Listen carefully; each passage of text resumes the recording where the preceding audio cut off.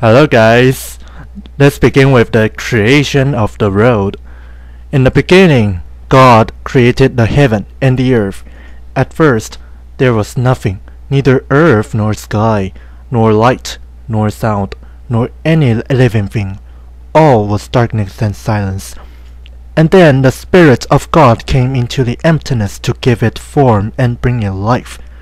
On the first day, God let the world be light and the first dawn of time brought into the world. God divided the light from the darkness. Let the light be called day, he said, and the darkness be called night. On the second day, God let the world be a sky as a roof over the world, and let it be called heaven. Then God made the sky and the rain clouds and placed them high above the waters of the deep. On the third day, God let the waters under the heaven be gathered together into one place, and let the dry land appear, so that now there were great stretches of dry land divided by vast expanses of deep water. God called the land earth, and the waters he called seas.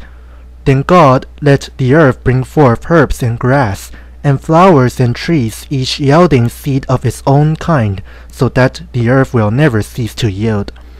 On the fourth day God God made the sun and the moon and the stars, and they shone down upon the earth.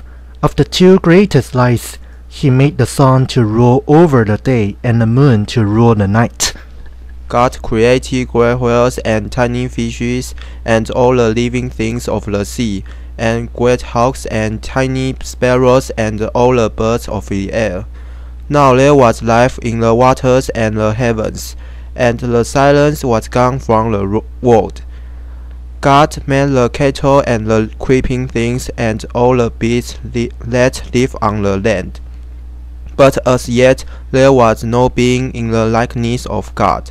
And God said, Let us make man in our image, after our likeness, and let him have domination all the living things.